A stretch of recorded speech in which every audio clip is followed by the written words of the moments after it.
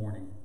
No other way. We're going to be reading uh, 1 John chapter 1. Thank you, Jesus. How about chapter 3? I wrote it down wrong again. I'm going to have to have my, you do my notes. chapter 3, verse 1 through 3. Okay? So as to behold what manner of love the Father hath bestowed upon us, that we should be called the sons of God. Therefore the world knoweth us not, because it knew him not. Beloved, now are we the sons of God, and it does not yet appear what we shall be, but we know that when he shall appear, we shall be like him, for we shall see him as he is. Verse 3 And every man that hath this hope in him purifieth himself, even as he is pure. Talking about Christ. As Christ is pure, we are to purify ourselves. As Christ is pure, we are to purify ourselves. And I want to talk to you about that, that there's no other way. There's no other way. And John 14 and 6 is another scripture we'll go to. John 14 and 6.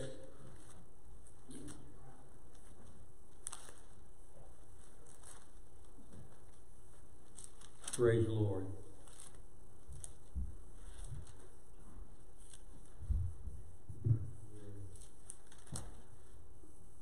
John 14 and 6. And Jesus said unto him, I am the way, the truth, and the life.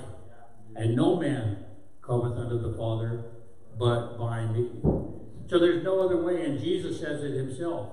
There's no other way except through Christ Jesus. And I hear a lot of different ways that people want to come up, but the scripture is clear that Jesus is the only way. He's the only one that died for you. He's the only one that was accepted the Father. He's the only one that we can come to and, and follow after to where we're going to get to where we need to be going. Because it's Him that we should be the reflection of Him. He's not the reflection of us, we're the reflection of Him this morning. Praise the Lord. Praise the Lord. Thank you, Jesus. Thank you, Lord. Thank you, Lord. Praise you, God. In Matthew 6 and 33, give you a few verses and then we'll preach. Matthew 6 and 33. This is what he wants us to do. We are to do these things. But Matthew 6 and 3 Seek ye first the kingdom of God and his righteousness, and all these things shall be added unto you. Amen. Seek God and his righteousness. Purify yourself. In first John it said, purify yourself as he is pure. He purified himself. He gave himself. He was crucified at the cross. He brought everything and nailed it to the tree. There's nothing that should hold us back. Let me tell you where this message comes from. Because this message the Lord impressed upon me was the word immediate. Immediate. I'm not that's not in my notes, but I'm this is where it came from. There's a lot of times when we're waiting for a certain pattern or a certain way to get somewhere, and God wants to transform us now. In the moment, He wants to transform it. You say, but wait, I've got to spend 20 or 30 years. But He tells us what to do to seek Him first.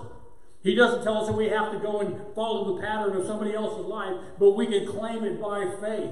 We can step in faith and be completely full. There are people who come to Christ and, and, immediately God changes them immediately. They're a different person. And so many of us struggle through the years. Sometimes we do okay for a while and then we start struggling and struggling and we get caught up in this thing of struggle that we don't really pray in, in faith.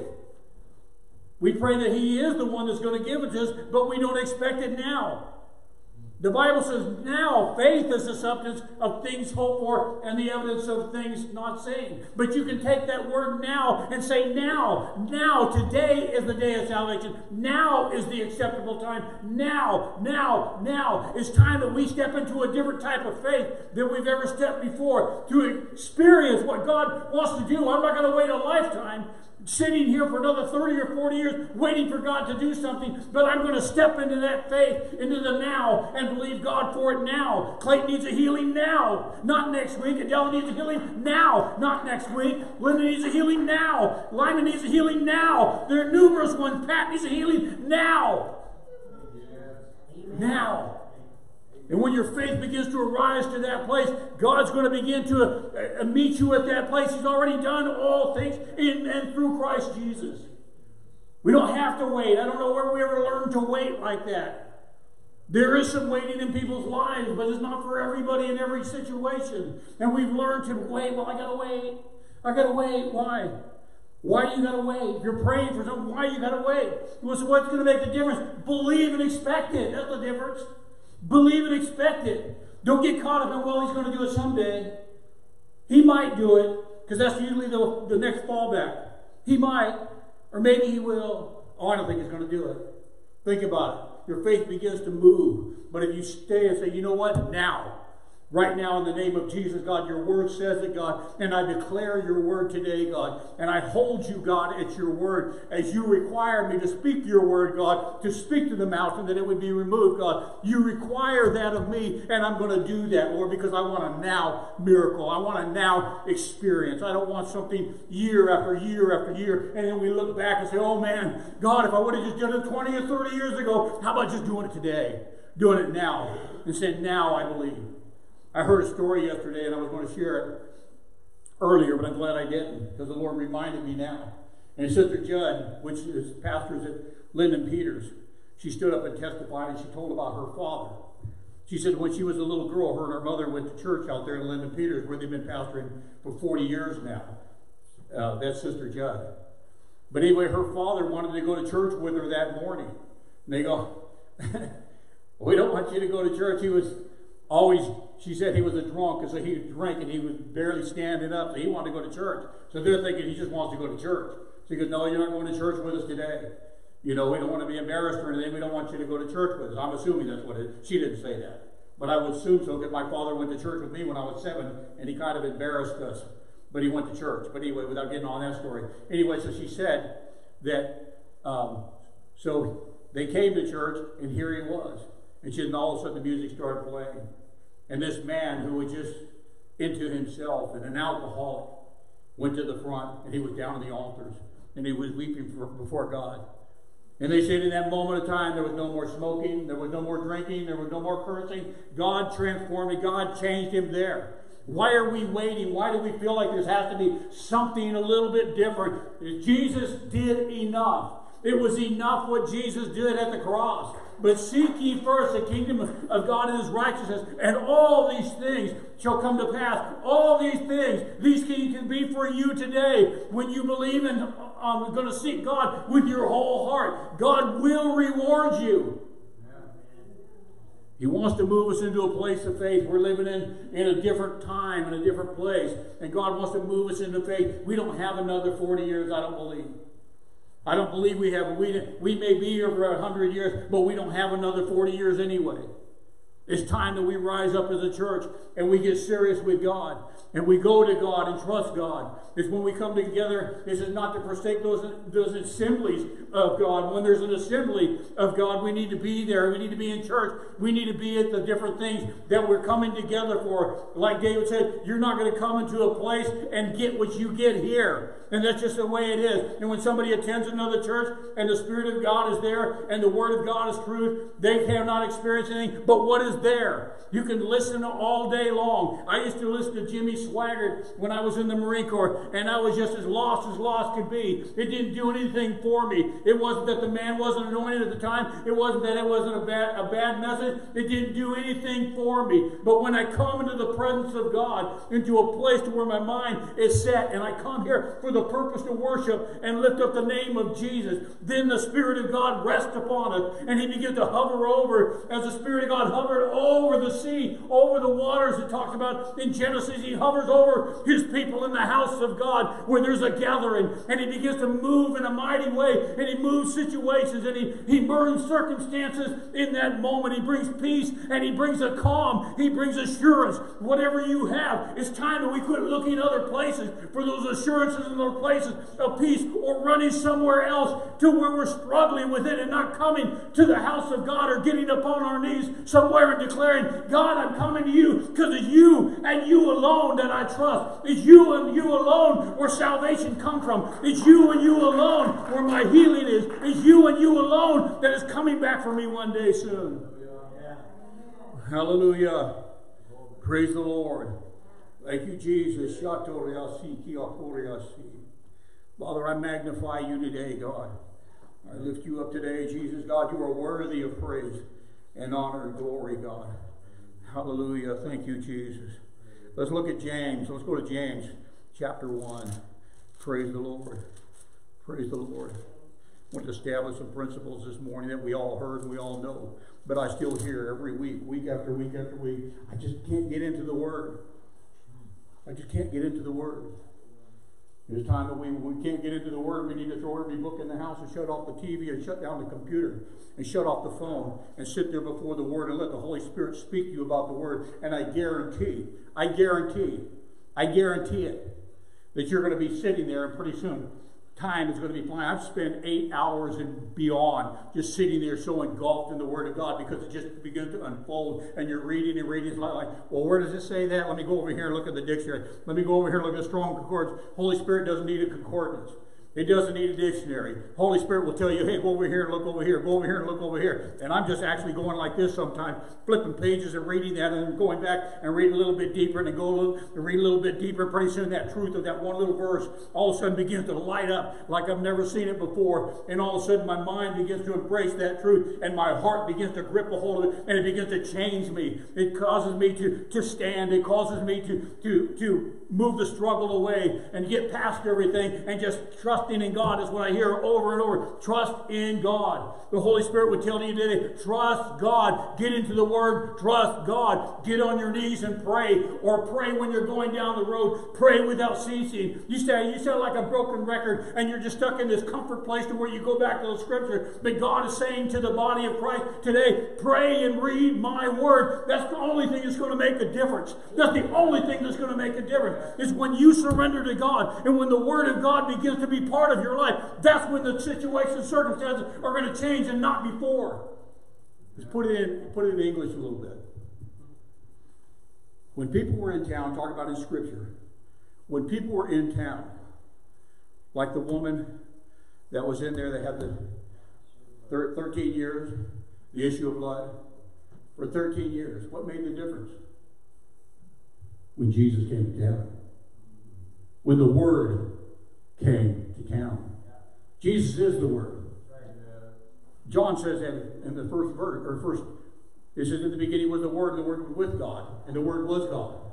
And if you go down to verse 14, I believe it is, it says, And the Word became flesh and dwelt among us, talking about we handled Him, we touched Him, talking about Christ.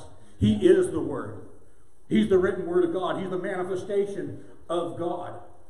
What we see when we look at the in the Bible and we see Jesus as walking through and demonstrating, he's not doing anything. He says, I don't do anything unless the Father tells me. It's his word. Yeah. It's his word. Every example and everything that he did was because he was the word becoming alive. He showed it as he walked through, through everywhere that he went. They recognized that he was the only way. Only you know the truth. That's what they told him. Only you know, Lord. If there's not you, there's no other. And they spoke these things because they walked with Jesus. They knew Jesus. He was the Word and is no different. We have it on pages here. And it's the Holy Spirit that inspires it for us or, or protects it and, and breathes it alive for us. But it's time that we get into the Word where it's part of your life. It's got to be something that you eat up every single day. It's got to be part of your diet. If it ain't part of your diet, then something's wrong. I'm on a, not on a diet, but I'm cutting my sugar out from last week because I told you I was going to make some drastic changes. And I was tired of my feelings going up and down emotionally because I was eating so much sugar. And I'm not preaching against sugar. I'm saying for me, I knew that what it was doing, it was time to move away from it a little bit and get cleared up. And so that's what I've been doing this week because there's things that we have in our life that affect our spiritual life that are from the natural life. And I wanted to get that out of the way because sometimes I don't feel good. Sometimes I don't feel like going to pray. Sometimes I don't feel like reading the Word because I'm not feeling good physically and it affects me emotionally and every other way. And I want to remove every single thing that will separate me from God. I want to see God in His fullness and not I'm trying to reach a place. But the scripture that we read in the beginning was he, we are to be pure. We're to purify ourselves. I'm purifying myself, just not in the physical, but I'm purifying myself. Could affect every area of my life. Does that make sense? Yeah. Yes. Amen. Those are the things that we ignore, things that we allow in our lives things that pull us down. How many of you struggle with, I don't raise your hand, but how many of you struggle with watching television too many hours or, or on the internet or watching or on look searching for things and stuff like that? And so focused on something. What does that steal from you? Think about that. The time factor. What does it steal from you? We're all guilty, I think, at some point, you know, not every day maybe, but on some days we're all guilty of that. We get caught up in a story and we start chasing that story. We've had the politics, we have we've had all the pandemic and everything else that tries to pull us. Everything's trying to pull us another direction, and we need to come back to the truth and know what the truth is. I was talking to my, my brother this morning and we were talking about the truth. And I don't remember, I remember who said it, but I can't remember his name. But one of the things he said, he goes, Truth is the truth, but everything else is opinion. That means everybody has opinion. This is the only truth that we have. And if it doesn't align with this truth right here, then it becomes your opinion. Think about that.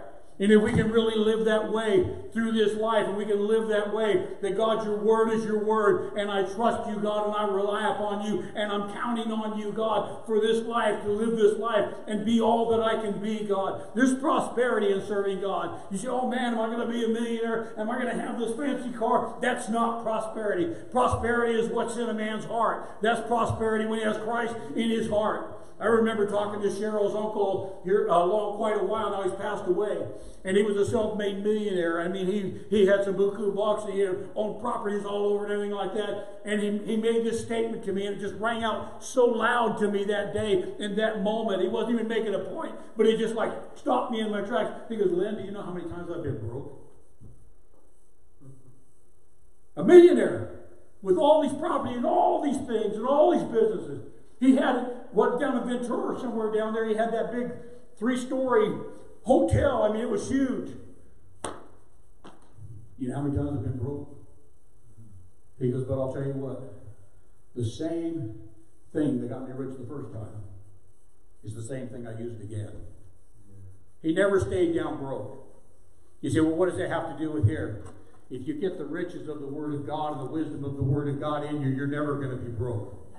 You may not have the means sometimes that you want to have, but you're never going to be broke. Because the thing about it is, whatever you have in your heart, and that's able to arise to the occasion to bring you back prosperity, whether it's peace, whether it's healing, whatever it is, you have it within you. And when you plant the word of God in your heart and your spirit, that's what's going to rise up. And it don't matter if I'm crippled, it don't matter if I'm dragging on the ground, it don't matter if I'm bedridden or whatever it happens to be. I'm still going to be rich. I am rich because the means are in me, and that is Christ Jesus. Amen. We need to live that way every day. I see so many broken churches today that are just living kind of just walking along, limping along, struggling along. When we may have a physical element outside, we walk like that, but inside should not reflect what our outward man's doing. Because the Bible says that we are going, this body's going to decay. We're all going to go to the grave. We're all going to die.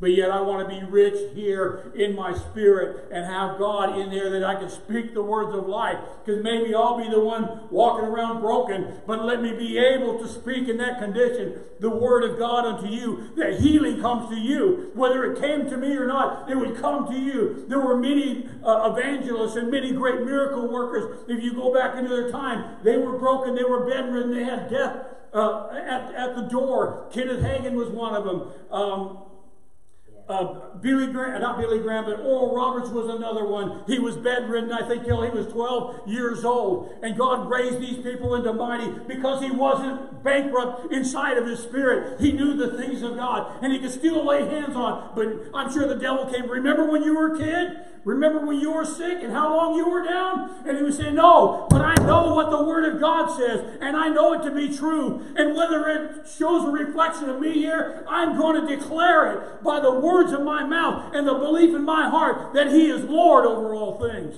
This morning, still trying to get to James. Praise the Lord. Thank you, Jesus. Thank you, Lord. Thank you, Jesus. Yeah, God called me who I am. And I'm praying that He makes me better.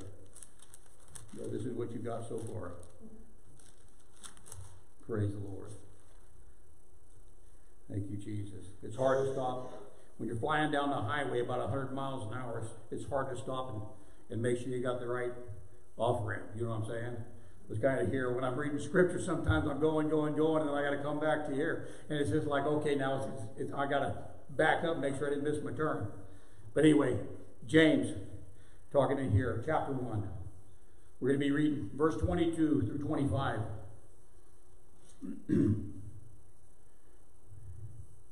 this goes a little bit deeper here. And I want you to listen to the principles that are being spoken about here, as well as the truth. But it says, But be ye doers of the word, and not hearers only, deceiving your own selves. To look at that with clarity, it says, Be a doer of the word. Don't just read it. Don't just hear me preach it today and you go do nothing with it. It has to become a practice of it. You have to walk it out. You have to experience. I was talking to my brother this morning as well, and I was I would tell him, you know, you if you don't have any experience, you're just telling somebody else's story. And when times come against it or somebody challenges you on that truth, you don't have the means to stand up and defend it. That's right. So it's important that we make it a part of us.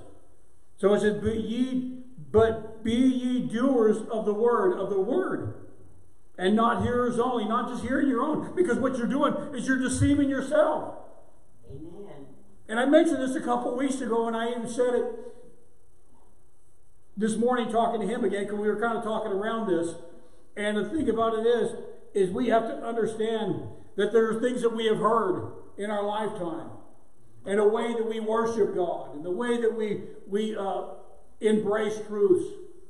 And a lot of those times, if those were not your truths, or those were not, uh, I don't care if they took it from the Word of God. But if they didn't, if they took it from the Word of God and you didn't practice it, then it does you no good. It doesn't matter if the guy's a scholar. It doesn't matter what degree he has. It doesn't matter who's standing up here before you. What matters is that you have experienced what he's bringing.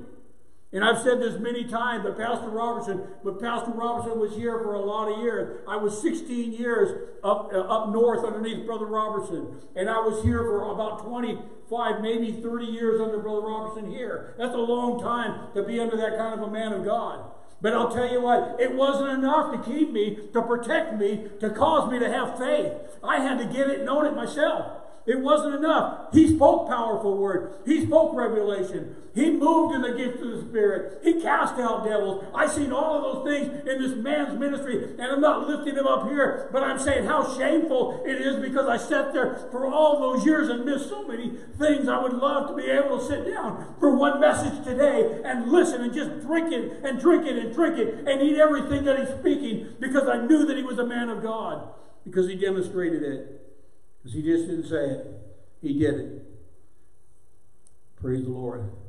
So he goes in verse 23 For if any be a hearer of the word and not a doer, he is like unto a man beholding his natural face in a glass. How many times have you been there? We've all been there. We heard the message as long as we were there when the preacher was preaching, or, or when we first came into that one truth, it was like, wow, that's good. I'm going to go home and do that. And then as soon as we step away from the mirror, as soon as we step away from something to remind us again, then what happens? We don't do what the Word of God said. We forget that. And so we can't we can't prosper, we can't grow. We have to be in the Word of God. And it has to be a practice. It's not enough to go to school and learn a trade until you go out and experience that. There were some things that I knew, and I was able to go past the contractor's test in concrete with, with flying colors without a problem and, and pass the law and all the, the different things that I needed to do. I was able to do that, but until I got out there and experienced, I became a better concrete guy. I was just a glorified finisher that knew some things because I had experience and been around some people. But now it was time for me to, to walk in. It was me to call the shots. It was me to fix those discrepancies and those situations that face problems and people that I had never faced before. Because a lot of times we're under cover and we're protected when we're, we're under somebody and they make the choices and the decisions and it's easy. But when you got to step up and if you don't have enough to bring to the table, you better start getting some experience. And we did, and we weren't afraid to do things. There was one particular time I was walking with a guy who was my foreman at the time, and he goes, "Have you ever done this before?" I go, "No." We just made a contract. Did you ever do this before? No. I said, "I do concrete. I can do this." We did it. We figured it out. We did it. We didn't waste time. We got it done. We have enough ex- enough experience to get out into the water, and it made us stronger and more powerful. When when our business failed and I had to have it float around a little bit, one guy called me up. He goes, "Have you ever lifted up a house before?" Wanted me to come up and lift up his house. His house is 85 years old. I go, "Well, no, I've lifted up a car before." Well, I was a mechanic for the first 15 years. I did concrete. So I went over and I lifted that house up. I had that house up in the air. And I tore, hand tore all of that with a sledgehammer, all of the concrete all the way around and put a new foundation under it. And he liked the job so well, not patting myself on the back, I was saying I was able to do that because I had some type of experience. But I wouldn't have been able to go across the street with the confidence if I had not tried and attempted with what I did know. But I worked it out to where I was confident. Somebody calls me today, can you lift up my house? No, I'm too old. But anyway. but the thing about it is, yes, I know I know how to do it. I probably have to hire some young guys, but we can get it done without a problem. This was this, these were houses that had they weren't uh, uh, a sheetrock, they were that plaster. And anybody knows plaster, when you lift up plaster, you got to go up evenly because even if you get a little half this much, in a long way, it just cracks all the inside. We were able to successfully do that, get that house done. But anyway, I'm just making a point. But we have to be doers. We have to take what God has given us. And many of you, many of you, many of you are seasoned. I think every I can look around here, all of you are seasoned at some point, but God wants you to go a little bit deeper. God wants to take what you've got and wants you to increase on those things and begin to build to where you're walking in confidence. You should be broadening your tent stakes continuously. Remember the thing about Jezebel, or not Jezebel, uh, Jabez, Jezebel. Jabez, they had that thing and everybody was running. They were having uh, fast and they were having prayers and they were having this and having that. What happened to that move? What happened to that move? Think about it. People declare it, but they don't want to do it when the times get tough. It's difficult. They just don't have the energy and they don't have the wherewithal to do it. But there were so many, they sold, sold so many books about those tents being spread out those stakes being spread out and God stretching ministries and stretching this and stretching that. And I have a couple books, I think, in here or back there of that time. But what happened? Where's the church at today? If people would have really stretched out their stakes and broadened their ministries, this place would be packed today, as well as other places all over. We want to get there and get excited about something, but we don't have the wherewithal to push it through. It's not fun. I'll be real, it's not fun. It's not fun to be in charge of a project. It's not, it's not when you don't really know exactly what you're faced with, it's not fun. But people like you that is here in Gateway today are more, more than able to do that. You guys have qualities that a lot of churches would love to have. It is time that we rise up and say, you know what? I'm just not going to stay in my comfort zone of the qualities I'm at. I'm going to begin to reach God and reach out to those around me. You say, well, I'm doing so many things. It's all I'm asking you today. Get into the Word like you never have before. Pray. God will make that way easy for you. A lot of times we don't know where to start uh, how to do or how am I going to do this or what do you want, God? But when we get into the Word and we begin to pray, He starts opening the door little bit, little bit, little bit, and pretty soon you know and you just step right into it with confidence. And God will never leave you uh, alienated or leave you without. He will always supply the need, whatever it is for you to have to where that ministry can grow or those family members that you want to reach. He'll give you the wisdom and the Word and you'll speak the Word at the proper time and God will be speaking to that heart and then all of a sudden salvation will come to that individual. Yeah. We miss sometimes because of the timing of God. That's why I'm reminded by that statement. We miss sometimes by the timing of God because we want to do it. We might have some of the means, but yet we need to be prayerful. There's a book that that uh, I just read a couple pages on it. Had it for a long time, but it says pray then preach. That's the title of it. Pray then preach. And the man that it was preached revivals like crazy, but he learned that the power of God came when you pray. Then you preach. If you're preaching before you pray, or preaching your before or not praying, there's no life. Right. You can have all the means, you can have all the scriptures, you can sit up here, I can sit up here and quote to you all single day. Every day, I mean, all day long. I could do that. But there's no power that comes from that. But it's when you get in that closet with God and you, you say, okay, God, you called me, God, and you qualified me, Lord. And God, I want to step out by faith, God, but I need you to open that door. He wants a humble heart. He don't want somebody, well, God, you know what? I'm this kind of person and you made me this way and, and this is what I got to bring to the table. God knows what you got to bring to the table. Sometimes you ain't got as much as you think you got bringing to the table when you're talking to God. But I have to come to him humbly. God, I need you. God, I need you to open your word to me, God. I need a word today. God, I surrender today. I've said that so many times this week. God, I surrender today. In the morning, God, I surrender today, God. I surrender today everything, God, in my life, in my heart right now, God. I surrender, God, and I repent, Father God, in the name of Jesus, God, for things, God, that, that I've said, things that I've done, Lord. Maybe there's been things that, that wasn't intended like I meant them, or maybe they were intended in a different way, God, but only you know what is truth. I need your truth. I want to be purified by you. I always use the word purge me. Purge me, Lord. Yeah. Cleanse me, God. Because He's the only one that should show. It's Him that shows. We get lost in what I look like. And it's not so much in pride. A lot of times, what do I look like? Sometimes it's insecurity. When if we just push Him forward, you're going to be okay, one way or another. Because it's lifting up the name of Jesus. That's what it's all about. Lifting up the name of Jesus. Yeah. Okay, let me finish this reading here. You were in 24, right? Yeah. For he beholdeth himself and goeth his way, and straightway forgetteth what manner of man he was. That's funny. He says he forget what manner of man he was. In the mirror, he was one way. Well, you're looking good, dude. Oh yeah, you look good.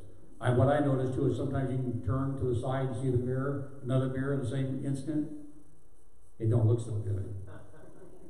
But anyway, I'm just being smart, facetious. But anyway, so he for, so it says he forget he forgets what what manner of man he was. That moment he was ready to tackle the world. He's going to pull down everything. There was nothing going to stop him. How many times you set out with that with God? You just knew that you knew you were bold as a lion, man. You've been in the presence of God and you're just ready to tear it up. Been there many times. My younger life, I was going to go to school and declare the Word of God. And I had my Bible and everything, take it to school. And then I would get to school because I didn't have a prayer life whatsoever. I just heard the preacher talk about that it should, and I was inspired and excited. But all of a sudden, the enemy comes down and like, oh man, what are they going to think? And that's just the enemy. That's the devil telling you that. But then all of a sudden, guess what? Because the Word wasn't there, I started buying into it. What are they going to think? What are my friends going to think? Don't know how I was last week. Don't know how I was talking last week or what I was doing. They knew. Think about it. But if I knew the word, I'm a new creation in Christ Jesus. I had to have a lot of start overs in my lifetime. Go back and God forgive me, help me, God. There were times when we took the Bible and declared. Remember the fourth grade taking the Bible to school. Me and the girl used to take the Bible. Some kid come up there with on me one day and he knocked my Bible out of my hand. It was just a difficult thing to do because I wasn't totally, but I didn't do anything. But yeah, we got to where we go out and read every day, me and that girl. And we, we went to church together. Don't make me some hero. I'm just saying we're a different person when we're all bold, ready to go. And the only thing, like, like Ed said, when the word's in you, you're always bold. You're always ready to go. It don't matter what's going on around you and how bad you're shaking. Think about it. Shadrach, Meshach, and Abednego and tell the story. Oh, yeah, the Son of God. Well, they weren't telling their reactions. They had confidence, but it doesn't say if they were shaken. If maybe there was some process going through their mind, they didn't have the Spirit of God in them. They didn't have the Holy Spirit like we do today. They were there with the fourth man who was in the fiery furnace. But what was really going on with them human elements of them people? You can shake all you want, you can quake all you want, but if the Word of God's in you, it's going to stabilize you. You're going to accomplish what you set out to accomplish. You're going to have the words to speak in that moment. You can shake all day long. You've got a lot of shaking going on. I can see all the shaking going on. But Jesus loves you. Amen. Doesn't change the power of the truth. Jesus loves you. God sent me here to tell you about Christ, that there's another way. It's time that we begin to start looking at that because that's when we start broadening our, our, our tent stakes. Because if we're praying and we're in the Word of God, then we want to be able to minister to people. Bishop Cox will be here on the 29th of October to minister. And what I would love to see this church, and I challenge you, in this church I've thought about for the last few days since I've talked to him. I would love to see souls that are looking for God in here. But I would like us to be winning souls till he gets here. It's not because that he loves winning people to Christ. He loves praying the sinner's prayer. When we were up at the men's uh, um, conference over there, was it four? No, probably six on, six or seven? Six or seven young men that were probably 18, maybe even a little bit younger and up in their early 20s, came up and prayed, and they brought Bishop Cox up in the, Cox up in the front, and he began to pray the sinner's prayer and to tell them what it was like to be saved. And those young men experienced Christ in a powerful way and accepted him. And it was powerful, and you knew that it was real. They were just sitting there weeping. Huh, Jess, you were there. They were just weeping and everything. And God, in, in, in a powerful way, saved them. But I know Bishop Cox loves to pray that prayer with the sinner. And we all should. But I want to challenge you on the 29th, make sure you bring somebody who, I don't care what, so they can hear what the man of God is going to say.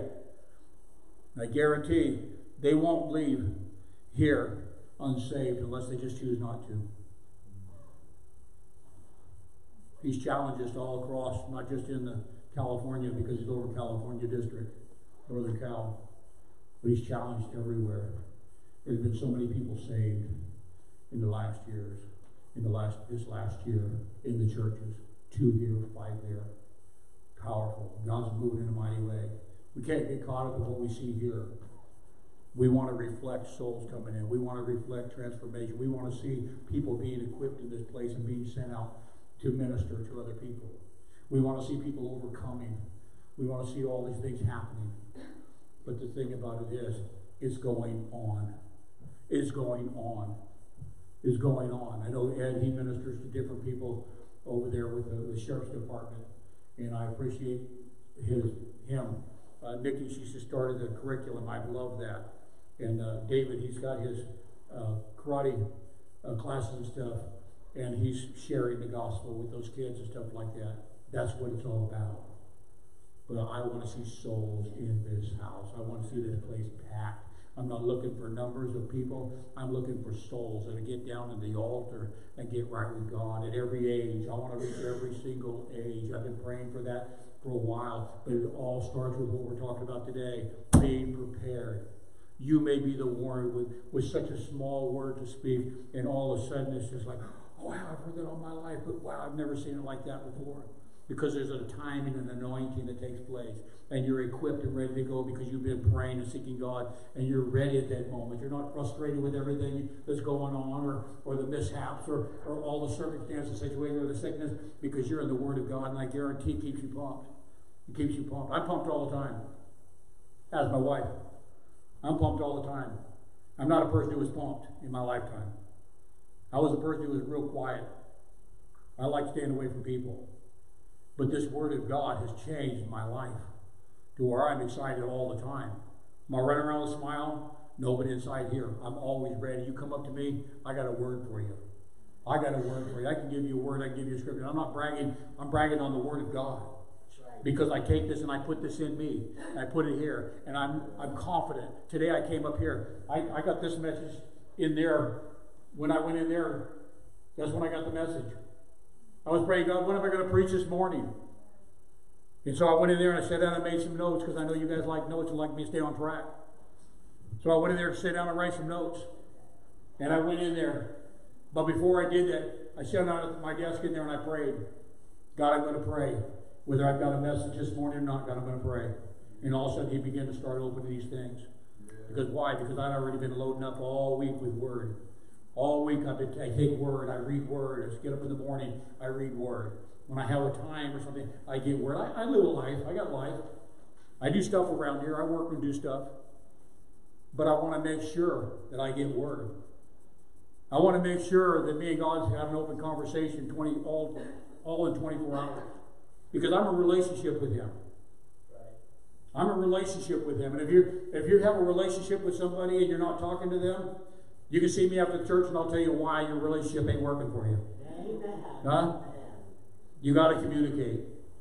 You got to be real. You got to be real. Some people communicate, but they're not real. But you got to be real to God. You got to talk to God. You got to tell Him. You ain't going to bring any spring any surprises on Him. He knows exactly. Knows your thoughts. He knows the hair. uh, It says your, your the hair on your head's numbered. He knows all that. That's right. Getting easier for Him to count back here for me. But I praise the Lord this morning. Twenty-five.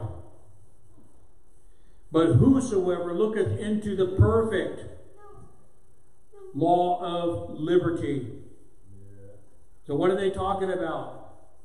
You got to go back up in verse 22. I'm not going to take it all the way back through but 22. But ye, but be ye doers of the word. Word they're talking about, the word of God. But verse 25, but whosoever looketh into the perfect law of liberty and continueth therein, continues in that. Continues in that. That means you continue. That means it doesn't matter what's going on. It doesn't matter how fast you're going somewhere, as long as you're continuing. I learned a long time ago in concrete that I used to pull up there, and a lot of times I didn't want to go get the jackhammer, and I wanted, so I had a big sledgehammer. So I'd get the sledgehammer and I'd start beating on the concrete like that, beat it with a little short handle one, beating on it and beating on it and beating on it, and pretty soon I would see that concrete go.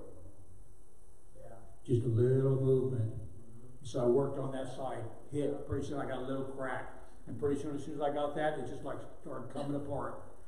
Just a little bit, a little bit. It may not look like you got a movement going on, but I guarantee you keep beating on it, beating on it, beating on it, keep knocking at the door. That's what he said. Knock, seek, over and over and over. If I continue to do that, I'm going to have a breakthrough. I'm going to have a breakthrough, and I'm going to be able to move that rock. I was able to move that rock and put it in my truck in pieces that I could handle. And that's why it's the way we should look at that. If we continue little by little by little. And I don't know, some people have uh, limitations and some people have uh, other areas where it like, "Oh, I just don't get that. I don't, I don't, I just don't understand it. Get into the Word. You should have heard me when I first got here. You think I'm bad now? It was worse. I hadn't read anything for I don't know how many years. I wasn't living a lifestyle to where I was running down the library and, and staying up with school. There was a lot of words. My vocabulary was better when I was a kid than it is now. Because we were taught how to speak English and how to read and everything. But what happens is you live a certain lifestyle and you put everything uh, in, in a mode of cruise, then what happens is you lose a lot of that. But the Word of God has opened up to me in a powerful way. So, what I'm trying to say, there's no limitations whatsoever. You see Louis today. Louis can't read, but you look and see what he writes and what he reads now because he pursued and he's doing a powerful work with what he's doing because he's reading and he's writing. He didn't let it hold him back. He couldn't read. And I don't mean that to embarrass him. I hope he doesn't because it's a blessings of God. But he had to get up and do something. He had to go and hit and hit and hit and hit and get a little movement and hit and hit. Do you think he just was able to? You ever look at his writing? He writes the Hebrew and Greek. Not just the words, but every, if you know the Hebrew and Greek, when the scribes would write, it has to be perfect in every move. Otherwise, it changes the meaning of that word. And Louis has copied them over and over and over. And you look at his work. I've got some in my office that he's given me. And you look at that work, it's like, wow. Wow. But whatever you want out of life, you're going to have to do something with it. And if you're here, I know you want to serve God. You don't want to live half-hearted. You don't want to live to where you have something that you're just not reaching because you continually reach and reach. That's frustrating. That's frustrating, reaching for something and you just can't obtain it. But it's in your own power and your own ability that you can obtain it. I always said anybody can learn anything if they do it That's right. Amen. over and over and over again. I'm right handed. I was born left handed. There was a lot of things I had to change. School made me learn how to write right-handed. But I, I can move my left too. But he made me right. When I used to have the punching bag, I used to practice. Right, left, that fast. Used to go in my garage when I was about 23 years old. Go in my garage when I get off work and had the heavy bag, and I would put the heavy bag there, and I would just right, left, right, left, and I would spend time to the right, left, go like this, like this, and work my move just in a real concentrated place. And pretty soon it was fast. It was quick. I could switch hands. I'm not bragging. I'm not using any of that now. But I'm just saying, it proved to me you could tie. When I first started boxing with the Golden Glove boxer, he told me, he goes, you got to put that hand behind your back. And he put that left hand behind my back, and I had to learn how to stand differently. Because it changes a lot of things. But after a while, or you tie your shoes together, because you get your legs too far out, you get knocked down. So my shoes were tied together to keep me from moving, so I keep my balance. So I'm not talking about boxing today, I'm talking about you can change anything in your life if you do it continuously over and not just be a hearer of the word, but a doer. If it's hard for you to get a hold of the word, grab a hold of a simple one. Right now, Ed's leading us in the scripture. That's powerful. That's powerful. I'm learning those. I know the first two. I, I practiced the other one this week. I, I got it, but I didn't got it down, if that makes sense. But I've got it. And so I'm going to have that one down. I'm practicing and I'm learning. I'm learning the scripture when I sit down. I'm learning in probably 15, 20 minutes to where I'm able to cite it when I'm just, and I've been able to do that. And God will, the thing is, is God helps you in that. When you're committed to that, God's going to give you that scripture. And then what's going to happen is you're going to need that scripture, and all of a sudden you're not even going to think, where's that out? All of a sudden it's going to boom. You're going to speak that scripture because it's part of you. It's part of you. Part of you. Thank you, Jesus. I can tell you some stories, but I won't. But it makes a difference when you're ready and you've practiced. Your first thing is a reaction. You're not thinking about what am I going to do. You're going to react just by the little. When I needed it, I had it because I was able to react without thinking about it. Still the same principle I'm talking about. It's time that we look and see what the things that hold us back and say, okay, this is my way. I need to make some changes. I'm out, I'm out for major changes right now in my life, my lifestyle. Out for major changes. I'm not compromising the Word of God or nothing like that, but there's some things in my life. Cheryl can attest to this. That when I walk through the house, usually I'm picking something up, moving something because I'm, I don't want to deal with it later. That was never me before. I went to work when she raised Landon, pretty much. And I did some things with Landon and went, went places with Landon, but I was usually scheduled out. It was hard to be there. So a lot of that, I put a lot of weight on Cheryl. But the house was clean, the cooking was going on, all those things. But I've learned to do a lot more. I know I have more time, but the thing you still have to change your habits. There are people that are retired that aren't helpful. There's things you have to change. Things you have to change in your life. There has to be lifestyles because they affect every area. If I'm a procrastinator in, in my upkeep and everything, guess what? I want to be a procrastinator when it comes to things of God. Yeah. Go witness to that one. Well, maybe tomorrow. No, it looks a little cloudy. Might rain. I might scare them. Well, time to scare them. All right. Praise the Lord. So anyway, let me read 25 again. I'm trying to get down there. But whosoever looketh into the perfect law of liberty and continueth therein, he being not a forgetful hearer, not being a forgetful hearer, but a doer of the work, doing it as well. This man shall be blessed in his deed. This man shall be blessed in his deed, whatever he's pursuing. If he is a doer, and not just a hearer, if he does them both, then he will succeed, is what it's saying, in whatever he's attempting to do. That's pretty much what I've been saying. Praise the Lord. Let's go to Revelation 22 and 12. I'm going to let you go. Maybe. Trust me, I try.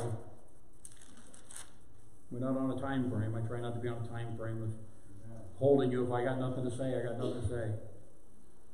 But in verse 22 and 12, and this is Revelations, and this is the closing of Revelations, that it says, and I just wanted to give you a word of encouragement because it sounds like a lot of times I'm giving you instruction, instructions, instruction. But we got to get a hold of the instructions. We got to act on those instructions. Because if we don't, we're never going to get anywhere. I could talk to you about love, and I could talk to you about the creation, and I could talk about all these positive things and everything, but I have to, we got to go somewhere.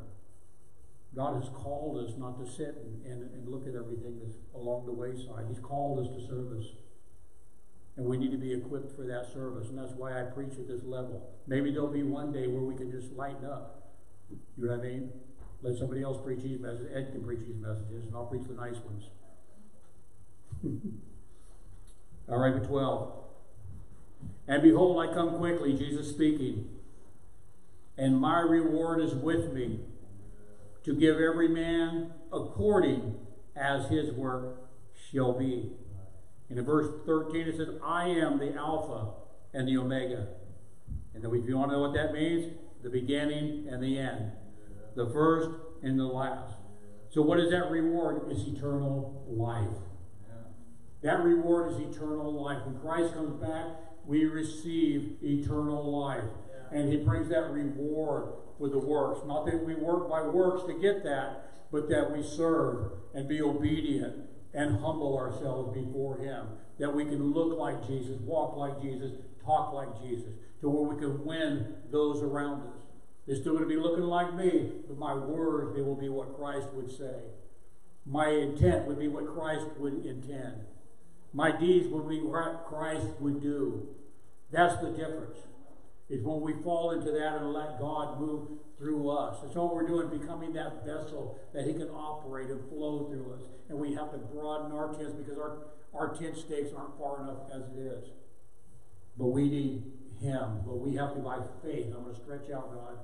I'm going to spend a little extra time. God, there's five more minutes that I don't give you, God. In the morning, I'm going to give you five minutes. I'm going to get a five minutes a little bit earlier. I don't read your word and sit down, God, and listen to it. God, I'm going to give you five minutes or whatever happens. I'm going to give you one minute. But as I begin to increase, then it's going to increase. It's going to increase. It's going to increase. And pretty soon you're just going to be a walking, talking Bible. You're just going to declare things. In the name of Jesus, somebody asked you to pray. In the name of Jesus. I take authority over that. Why can I take authority over that? Because His Word says it, and I believe it, and I, I operate in that. Healing. Can I command sickness out? You bet I can. Because the Word says it. And the more that I do it, then God's going to say, oh, wait a minute, wait a minute. This guy's owning this. He believes what he's saying. He believes, he turns to Jesus. You, you see that? You, he believes. He believes what, what you did for him. He wants what you have, what you're offering, what you're you're sitting over here on the right hand of me, the right hand of me. That's what it's all about. Giving Jesus. Jesus, Jesus, Jesus. Letting my life be an open book, an open epistle read of all men. Praise the Lord.